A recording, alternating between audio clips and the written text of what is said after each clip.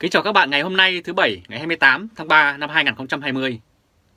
Kính mời các bạn xem bản tin đi đâu và làm gì trong mùa đại dịch cúm Vũ Hán. Trong bối cảnh dịch bệnh viêm phổi Vũ Hán lan rộng trên toàn cầu, thậm chí một số quốc gia và lãnh thổ trên thế giới đã ban bố lệnh giới nghiêm nhằm ngăn chặn dịch bệnh lan rộng. Nên đi đâu và làm gì trong mùa dịch? Có lẽ là câu hỏi mà nhiều người đặt ra nhất vào trong thời điểm này. Có một nơi để về, đó là nhà của mình, bởi vì nơi đó có những người để yêu thương. Đó là lý do phần lớn những du học sinh trên khắp trên thế giới đã đổ về nước trong thời điểm dịch bệnh lây lan trên toàn cầu này. Đây là hình ảnh nhóm du học sinh người Việt tại Mỹ bị mắc kẹt tại sân bay Douglas ở Mỹ được chia sẻ trên nhóm Cộng đồng cha mẹ du học sinh Việt Nam chống viêm phổi Vũ Hán. Các bậc phụ huynh đang có con du học nước ngoài luôn thường trực mối lo âu lớn khi dịch bệnh đang hoành hành mọi góc ngách trên khắp trên hành tinh này. Trong đó, châu Âu, Mỹ và Úc đều đã có những ca nhiễm bệnh và nhất là khi các nước phương Tây có cách xử lý bệnh khác với châu Á. Trước tình hình dịch bệnh diễn biến ngày càng phức tạp, vào ngày 15 tháng 3 năm 2020, nhóm Cộng đồng cha mẹ du học sinh Việt Nam chống viêm phổi Vũ Hán trên mạng xã hội Facebook đã ra đời. Chỉ trong chưa đầy một tuần từ ngày thành lập, nhóm đã thu hút được 2.833 cha mẹ tham gia cùng chia sẻ những chăn trở vào thời điểm rất khó khăn này. Đến nay, nhóm đã có hơn 3.500 thành viên. Rất nhiều câu hỏi được các cha mẹ chia sẻ trên nhóm này như sau. Cho con về ở hay ở lại? Liệu về con có an toàn hơn hay không? Đi về con có bị nhiễm bệnh trên máy bay hay ở sân bay hay không? Và làm thế nào để đưa các con về khi nhiều hãng hàng không hoãn chuyến bay, nhiều nước cấm transit là quá cảnh?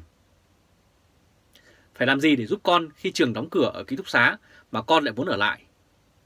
Ở lại thì ở đâu cho an toàn trong lúc dịch bệnh bùng phát khắp nơi? Trong khi nhiều trường đại học đóng cửa, tổ chức học trực tuyến qua mạng, nhiều du học sinh Việt Nam tại phương Tây đã quyết định về nước trước mối lo nhiễm bệnh mà chỉ có một mình ở nước ngoài. Đối với các du học sinh mà đa phần là các em còn ít tuổi, dịch bệnh thì ở đâu cũng nguy hiểm, nhưng nơi nào có bố mẹ, có gia đình thì đó là nơi an toàn nhất đối với các em. Cũng giống như nhiều du học sinh Việt Nam, du học sinh Trung Quốc tại Mỹ cũng có tâm lý muốn về nước trong bối cảnh số ca nhiễm tại Mỹ đã tăng vượt mốc 100.000 ca, còn ở Trung Quốc, quê nhà của họ, đã không còn ghi nhận ca nhiễm mới nào ở trong nước, theo truyền thông nhà nước Trung Quốc đăng tải. Đây là hình ảnh bảng thông báo tại sân bay quốc tế Phố Đông Thượng Hải, thể hiện một loạt các chuyến bay đã bị hủy. Bầu không khí khẩn trương còn nóng hơn vì số chuyến bay bị cắt giảm đáng kể. Vào ngày 24 tháng 3 năm 2020, 3.102 trong số 3.800 chuyến bay thương mại đến và đi khỏi Trung Quốc đã bị hủy, theo số liệu từ tạp chí quốc tế cho biết như vậy. Du học sinh Trung Quốc ở Mỹ, con em của những gia đình khá giả đang thuyết phục cha mẹ và phụ huynh chi hàng chục ngàn đô la mua chỗ trên các máy bay riêng để trở về nhà. Lánh dịch bệnh viêm phổi Vũ Hán ở đây các du học sinh Trung Quốc ở Mỹ lúc này cũng đang tìm mọi cách để quay về, bất chấp những chuyến bay kéo dài lên tới 60 tiếng đồng hồ. Đi kèm nhiều lần quá cảnh trên khắp Thái Bình Dương và lựa chọn gần như duy nhất trong bối cảnh toàn cầu và thế giới đang siết chặt biên giới và cấm cửa các máy bay thương mại thì họ buộc phải đi vòng như vậy. Bà Annette, giám đốc thương mại của Private Fly, một công ty chuyên đặt chỗ các chuyến bay thuê bao trên toàn cầu cho biết như sau.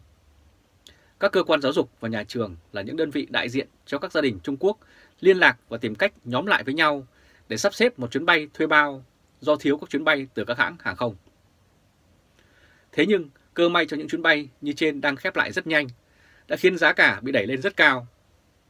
Công ty iChat Service có cung cấp các chuyến bay thuê bao cho hành khách từ Los Angeles, Mỹ về Thượng Hải trên chiếc Bombardier 6000 với 14 chỗ Giá của toàn chuyến bay khoảng 324.000 đô la, tức là khoảng 23.000 đô la trên mỗi chỗ, tương đương khoảng 530 triệu đồng tiền Việt Nam. Một nhóm các đối tượng khác cũng có xu hướng về Việt Nam trong thời điểm này là lực lượng lao động xuất khẩu rất đông đảo của Việt Nam trên khắp nơi trên thế giới. Đây là hình ảnh Việt Nam có một lực lượng lớn lao động xuất khẩu tại nước ngoài Những người Việt Nam ở nước ngoài theo diện xuất khẩu lao động là những người làm việc có thời hạn. Thường là theo hợp đồng từ 2 hoặc 3 năm ở nước sở tại. Sau khi hết hợp đồng, họ phải về nước. Vì vậy, với Việt Nam, với họ thì Việt Nam vẫn là nhà, là gia đình của họ. Họ không có nhiều liên kết với nước sở tại. Đó chỉ là đơn thuần là nơi họ đi làm, kiếm tiền gửi về cho gia đình hay tích lũy vốn cho bản thân, chuẩn bị cho kế hoạch sau này khi trở về nước. Khi công xưởng nơi họ làm việc ngừng hoạt động theo quy định của chính quyền địa phương thì họ sẽ có tâm lý tranh thủ về nước thăm nhà, thăm người thân thay vì ở lại mà không được đi làm ở nước sở tại, chỉ quanh quẩn trong căn hộ thuê mà thôi. Đó là một tâm lý thông thường của những người mà nhất là ở Việt Nam, nơi mà liên kết gia đình, dòng họ, quê hương, bản quán vẫn rất khăng khít.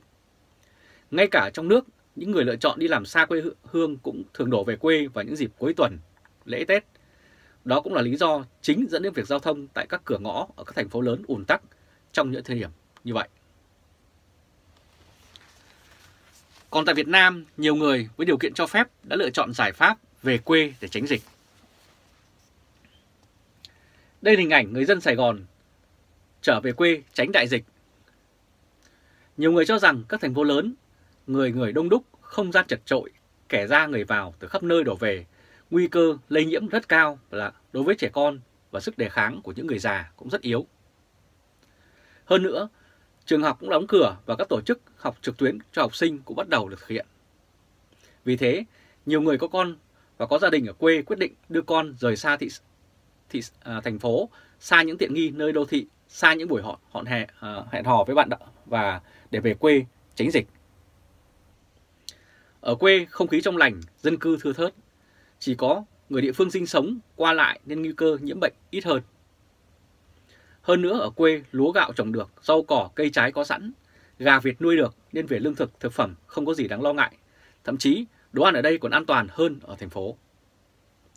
Với nhiều người, về quê với ông bà là nơi ẩn náu lý tưởng cho con trẻ trong mùa đại dịch này. Nhiều người có thể làm việc trực tuyến cũng sẵn sàng về quê, sống chậm, tránh dịch trong thời điểm dịch bệnh ngày càng diễn biến phức tạp. Và không chỉ người Việt Nam muốn về quê mà nhiều nơi trên thế giới cũng chứng kiến người dân rời bỏ phố thị để tìm về không gian thoáng đãng, thiên nhiên, trong lành của những ngày loạn lạc này. Đây là hình ảnh người dân tấp nập rời thành phố Paris. Chiều ngày 16 tháng 3, một ngày trước lệnh giới nghiêm của Pháp được đưa ra. Tại Pháp, trước thời điểm lệnh giới nghiêm có hiệu lực kể từ 12 giờ trưa ngày 17 tháng 3, kinh đô ánh sáng Paris đã chứng kiến cuộc di tản của người dân thủ đô nước này. Nhiều người dân Paris đã đổ xô tới các nhà ga tàu trong thành phố và ra đường cao tốc để thoát khỏi thủ đô trước khi lệnh phong tỏa toàn quốc có hiệu lực nhằm ngăn chặn sự lây lan của dịch bệnh viêm phổi Vũ Hán.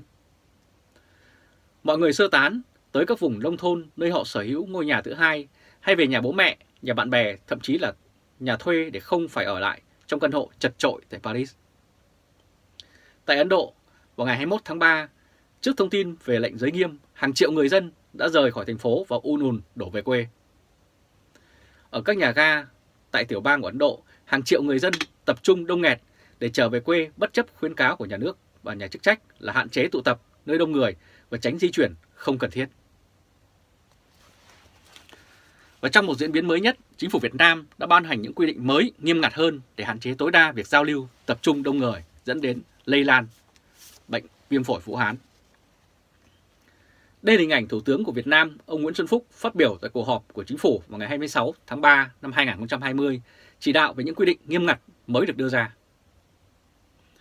Phát biểu tại cuộc họp thường trực chính phủ về phòng chống dịch bệnh viêm phổi Vũ Hán sáng ngày 26 tháng 3, Thủ tướng Nguyễn Xuân Phúc chỉ đạo từ 0 giờ ngày 28 tháng 3 trong một tuần hoặc vài tuần sẽ xem xét cụ thể sau là có các biện pháp đặc biệt như dừng triệt để các nghi lễ tôn giáo sẽ xử lý nghiêm chính quyền địa phương nếu đẩy xa xảy ra sự việc tập trung trên 20 người. 2. Đóng cửa các dịch vụ không cần thiết như massage, vũ trường, các cơ sở du lịch, tham quan, các tụ điểm vui chơi, giải trí, các dạp chiếu phim, quán bia hơi, nhà ăn uống. 3. Đối với Hà Nội và thành phố Hồ Chí Minh, kể cả Hải Phòng, Cần Thơ, Đà Nẵng, cần thực hiện đóng cửa toàn bộ các cơ sở dịch vụ, trừ dịch vụ, cung cấp thực phẩm, dược phẩm, các cơ sở khám chữa bệnh. Và ông nói, như thế chúng ta đảm bảo nhu cầu cần thiết cho nhân dân, những dịch vụ không cần thiết trong lúc này thì tạm thời đóng cửa. Tiếp theo, ông nói tiếp, hãy ở nhà, đã trở thành câu khẩu hiệu được gửi đi từ khắp mọi nơi trên trái đất. Nhân loại đang chung tay trong nỗ lực ngăn chặn đà lây lan khủng khiếp của dịch bệnh viêm phổi Vũ Hán. Vậy chúng ta phải làm gì khi ở nhà? Bà Giang Hà, công dân Pháp đang sống tại Hà Nội đưa ra lời khuyên như sau. Chúng ta kết nối với cộng đồng, chúng ta viết, chúng ta phỏng vấn, chúng ta kể chuyện. Chúng ta chung tay chống dịch bằng sức của chúng ta. Hãy làm tất cả những điều đó chúng ta có thể làm được trong mọi hoàn cảnh. Trong cuộc chiến chống dịch bệnh này, không phải là không ai bị bỏ lại, mà đúng hơn, đừng bao giờ tự mình bỏ lại chính mình. Các bạn vừa theo dõi chương trình truyền hình trực tiếp của Lê Trung Khoa Thời báo.de ngày hôm nay thứ Bảy ngày 28 tháng 3 năm 2020. Các bạn hãy chia sẻ video này cho nhiều người biết và bấm nút theo dõi YouTube và Facebook của Thời báo.de. Chúng tôi sẽ thường xuyên cập nhật những bản tin mới nhất, nhanh nhất và trung thực nhất để gửi tới các bạn. Từ Berlin, Cộng hòa Liên bang Đức, chào các bạn và hẹn gặp lại các bạn vào bản tin lần tới.